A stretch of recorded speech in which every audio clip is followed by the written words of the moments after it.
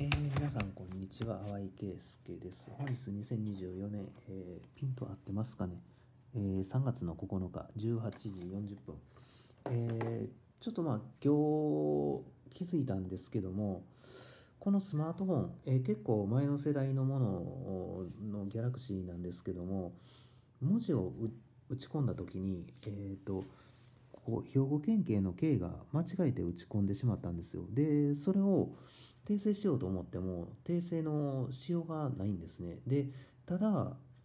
あの最初はそれで、えー、使い勝手悪いなって思ったんですよ。これずっと兵庫県警の K があの下のゴンベンがあのない方のあの親マの方の K だけになってしまっていてで打ち込み直したいなと思っていてもできなかったんですけどもただそういえばこのスマートフォンって多分サイバー攻撃受けてないんですよ。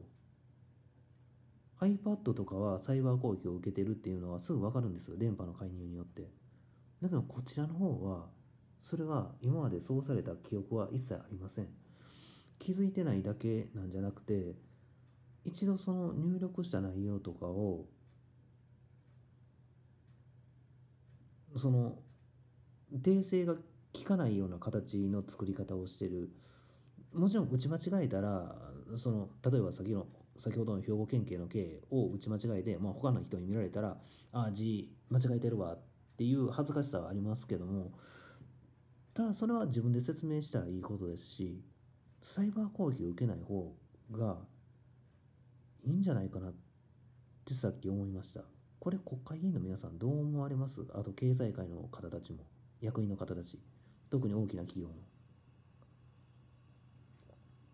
これ多分作り方こちらの方が正しいんじゃないですかね。僕の iPad の方はあのー、つい最近にえー、プレイヤー名でね、あのー、戦国風部っていうゲームがあるんですけど、まあ、それは僕の提案で、あのー、作ってもらったゲームなんですけども、まあ、作ってもらったというか、まあ、お金の支払いがないのに作ってもらったっていう言い方をしなきゃならないところがちょっと残念なところなんですけども、そこで、プレイヤー名でね、あの令和皇后っていう名前のプレイヤーがいてでその下のところに、まあ、自分であの何かこうメッセージみたいなものを書き込めるところがあるんですけどそこに「なる人の妻です」みたいなことを書いてるものがいたんです。なる人の妻かなる人の妻ですって。でそれは、えー、僕は確認しました。えー成人様の誕生日、えー、2月23日のあの、まあ、金河新年の、えー、お披露目と同時に行われた時に、まあ、雅子様もちゃんと出ていらっしゃるじゃないですか。でその時間帯あのゲームにアクセスしてる状態だとアクセスしてなかったらプレイヤーのその表示されてるところは白黒になるんですよ。だけどもあのまあそのアプリとつないでる状態になってたからまあ偽物である可能性は非常に高い。でそこにアクセスしてから、えー、日本語のワードが打ち込めなくなったんですよ。最初ゲーム内だけかなって思ったら、えー、iPad のその例えば普通のインターネット Google のところの打ち込む欄のところで、えーにえー、ローマ字を日本語もしくは日本語ローマ字の設設定があるんですね。設定のところをのアプリのところを開いていったらあのあるんですけどもそれを設定してあるにもかかわらず、えー、アルファベットしか打ち込めない。でそれがどうやらサイバー攻撃これ受けてるなってなんとなく分かるんですよ。そこを開いた時からそうなってるんですけど昔の会話が何かで、えー、英語で話せなければならないとか英語で、えー、文章化してっていうのを誰かが言ったと。でその通りのような形でバグを発生させて、えー、そういうふうな嫌がらせを、えー、行われている。でこの間、え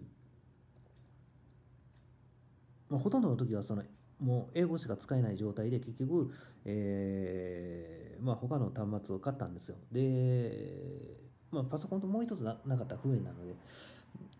でえっ、とねその iPad が今度その日本語表記が普通に打ち込めるように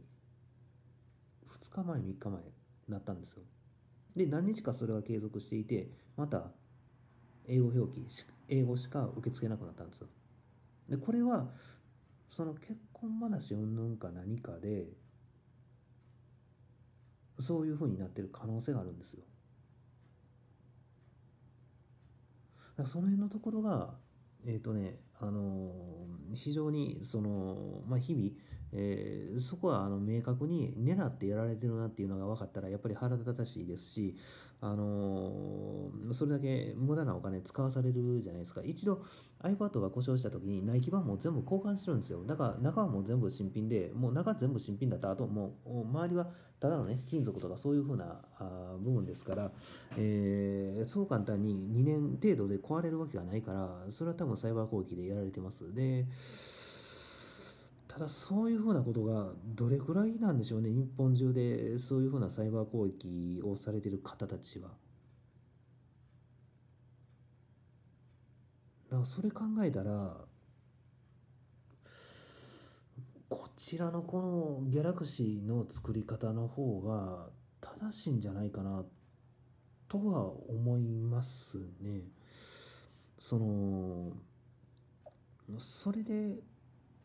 なんですかねそのタッチパネルのところで最初から日本語のところと英語のところとあとまあ数字とかと分けて使用するような形その欄を作っているからえー、まあなんとかなってるっていうことなんですかね。えっとね一応その iPad の方はまあ、他の他国の言語に設定のところでいろいろ変えれるんですよ。日本語と英語とか以外でも。だから、その辺のところで、まあ、ただしそれ、そ他のプレイヤーでも、その、何かそういうふうな現象が一時的に発生していたっていうことを、まあ、焦ったみたいな形でねあの言っていて、えー、もうずっとそのままかと思ったって、まあ、僕みたいな現象を起きてる人のコメントを見たことはそういえばあったなって思ったんですよ。最初はあの記載してる内容は何のことかなっていう形だったんですけどもやっぱり iPad は高いですからね。これもメーカーとしてアップルさんの方でちょっとどうにかしてほしいですね。アップルサポートの方に電話をかけても、その設定欄のところから開いて、日本語の表記のところを、え選ぶ、をしても、やっぱりどうにもなんない。第5世代のものに関してはもう修理のパーツは、え生産してないんですっていうことで、えあとは可能性あるとすれば、その下請け業者みたいな形あの個人でされてるようなところとかで、えー、その修理を行われてる方たちでまだパーツを持っ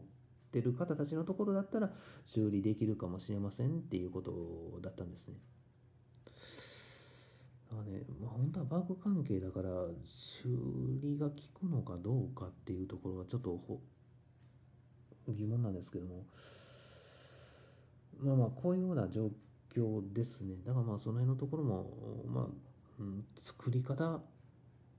どういう、まあ本当はね、一番いいのは、もう iPad, iPad をこう、ペタンってこう、畳むような形で、こういうふうにパソコンのキーボードをつけておくことだと思いますよ。で、まあ、新しく買った端末が Android 14のまあ、Google さんのその Android 14なんですけども、やっぱりね、読み込みスピードとかが iPad と比べてもう全然細くて、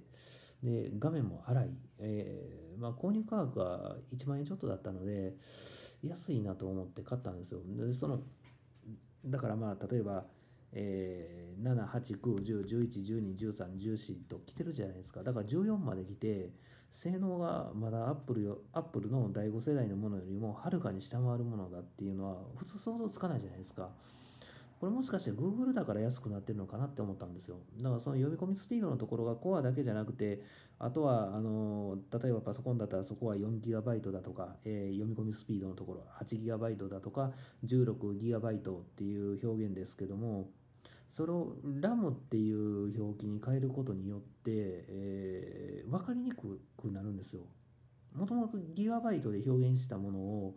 あのラムっていうわけのわかんない単位本当はそれわけわかんないでいいんですよ。そのえー、もともと単位ってビットから始まっていてそれが、えー、バイトになって、えー、メガバイトになって、えー、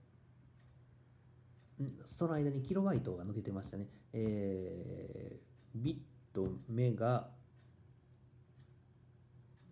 キロ、キロバイト、えー、メガバイト、ギガバイト、その次はテラバイト。だからそのもともとのギガバイトで表現していてその方が分かりやすいんですよ世界中どこの国も本当は。だからラムっていうややこしいワードを入れてきたのもちょっとね世界中で統一した方がいいですねそこギガバイトで。だからラムで表現されたら分かんないんですよ全然。読み込むスピードは。だ安価安価なそのパソコンっていうものは3コアしかなくて、えー、その読み込むところが 4GB であとは SSD がついているかどうかなんですよ。これはもう一番、あの安くて、まあ、低性能低低性能ですけども、まあ、パソコンなんですね。けどパソコンの方がまだ扱いやすいです。読み込むスピード、うんのところはありますけども、あとはまあパソコンで例えると、7コアで 16GB で読み込みのところで、え SSD 付きがやっぱりものすごく速いです。だけども、えっ、ー、とね、Google のその Android 14のところは、コアの数が多かったんですよ。6か7。あだからこれ、そのパソコンのその一般的な安いものよりも、これ速いんちゃうかと。速いんじゃないかと。もしかしたら iPad より速いんじゃないかなって思ったんですよ。だけども、そのラムのところが、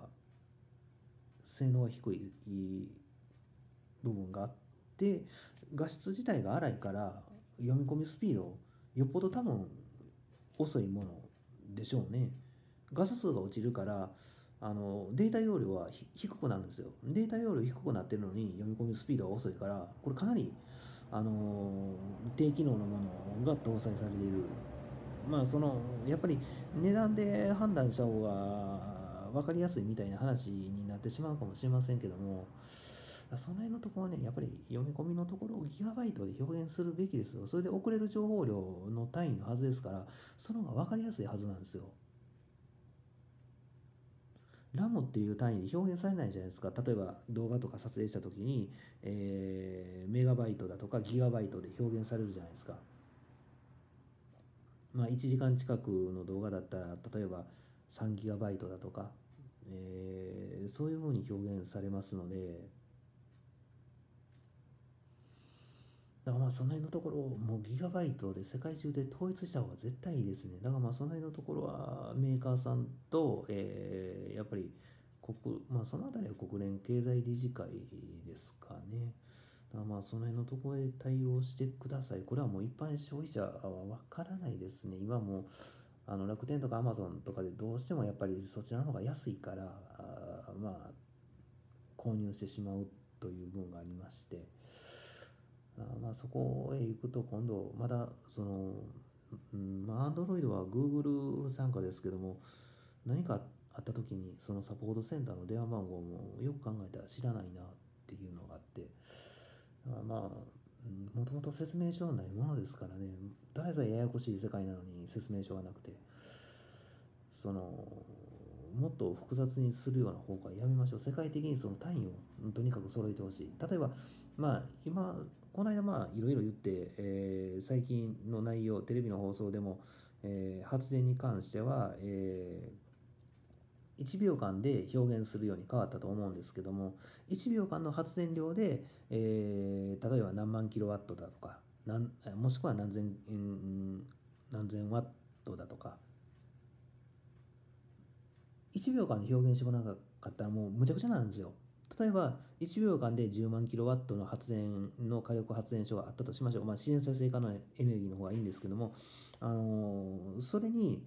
アワーをつけることによって、えー1時間単位で発電できる、えー量だったのかな、えー1秒間をそのアワーをつけることによってその1時間の発電量か24時間かどちらかだったんですよ。だからその辺のところで、えー太陽光パネルでもねあの発電量を多く見せかけるためにギガワットとかで表現してたでしょ。それは絶対ありえないからその相当太陽光パネル敷き詰めてもだからそれが1日の1秒間から、えーの計算で例えばあの1日だったらまず1分でかける60じゃないですか。1秒に対してかける60で、えーそれに1時間でかける60じゃないですかでその次にかける24になってくるでしょうだからそれでギガワットみたいな、あのー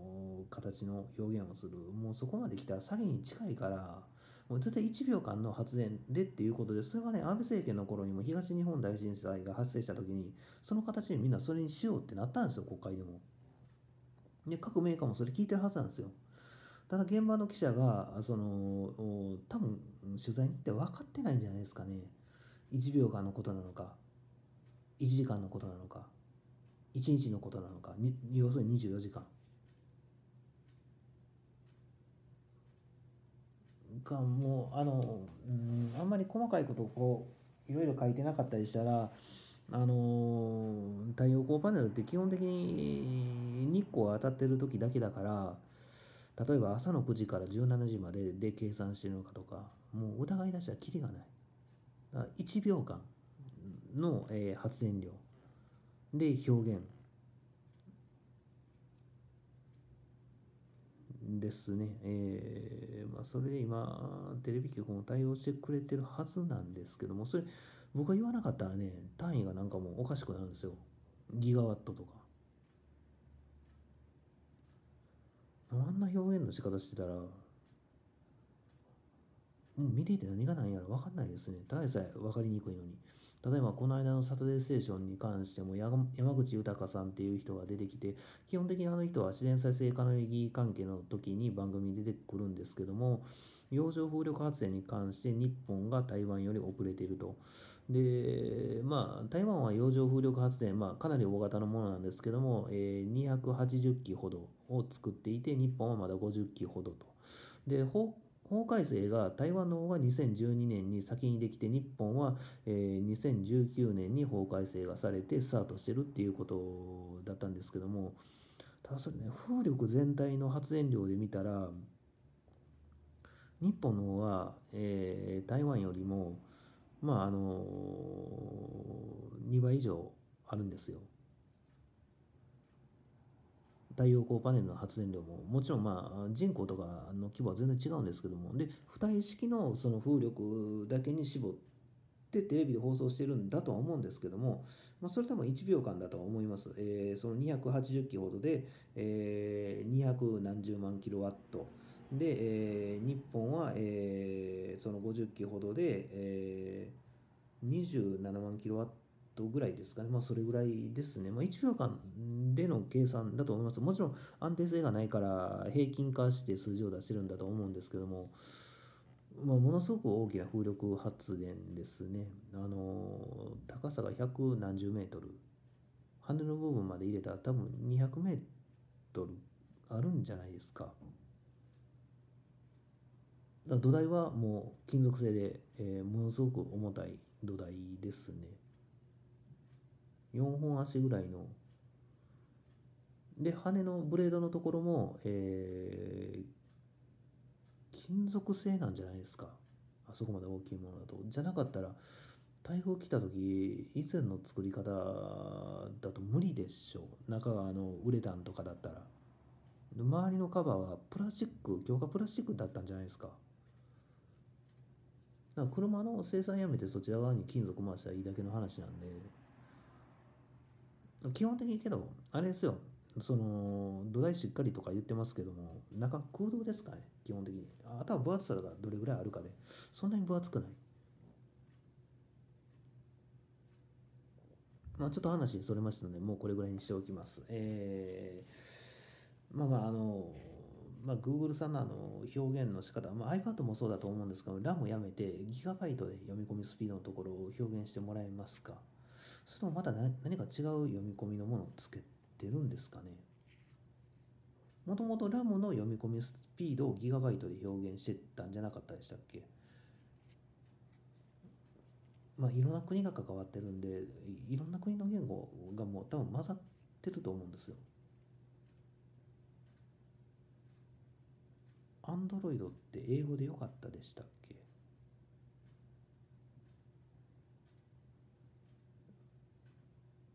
まあ以上です。えー、皆さんご協力ご対応のほどよろしくお願いいたします。